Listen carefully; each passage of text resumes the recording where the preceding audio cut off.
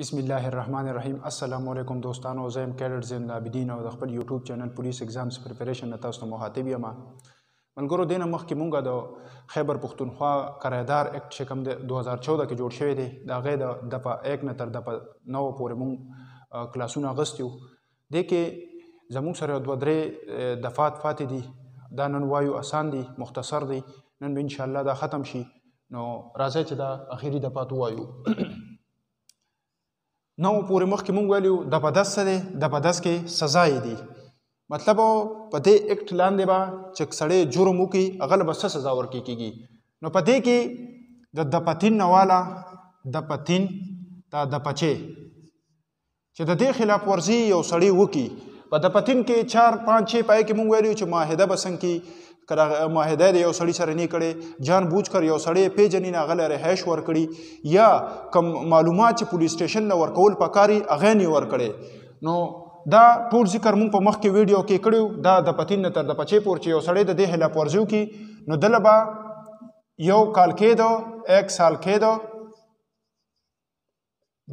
جرمانه به پم لګول کیږي یا به ولا دواړه سزاګانې ورکول کیږي 1 سال کې دو جرمانه یا دونو سزای په دې کې یو خبر دا بل آیات ساتل پکار دی ک پرس کو دا مالک مکان چې کم دی مالک مکانو یا منیجر کوم ذکر مونږ کړو کدی د دې کس ته د دا کم کس له چې زه ور کړې دی په کرای پاتې کی د دې د ازایمو نه دی خبرو چې دی د جرم پیشه سړی دی او دی په غیر قانوني اراده باندې په غیر قانوني کار په اراده باندې دلته راغلی وو او دا مالک د دې کار نه خبرو د دې باوجود دله د غزه ورکو په کرای باندې نو دغه لبا دلبا په اهانت کې سزا ورکول کیږي د دې جرم په اهانت کې باغله سزا ورکول کیږي اهانت په ان شاء الله بیا په تفصیل سره وایو نو په هغه باندې به هم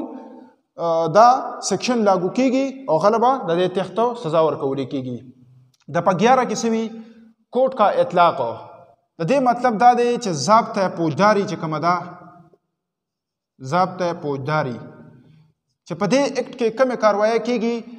هغه به ضابطه پوجداري کې چې کم طریقه کار خولې دي د هغه طریقه کار لاندې بکیږي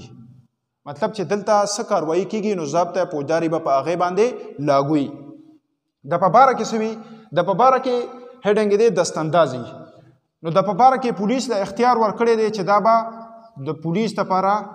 قابل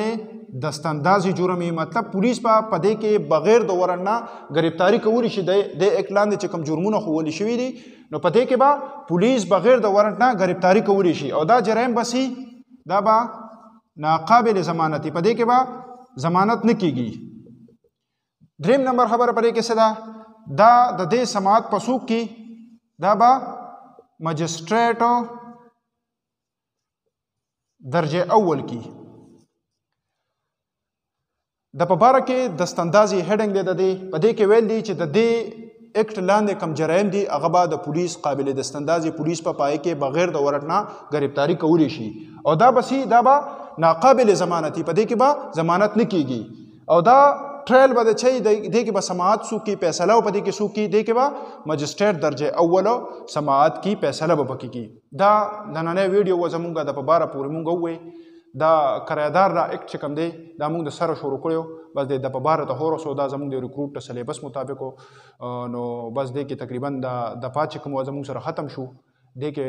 نیکسټ چې کوم لوکل اینډ سپیشل لا کې کوم پیچیده مضمونونه هغه به ان شاء الله وایو بل ویډیو کې به تاسو سره ملاویږم دا غو پورې مال اجازه ترکه الله فامان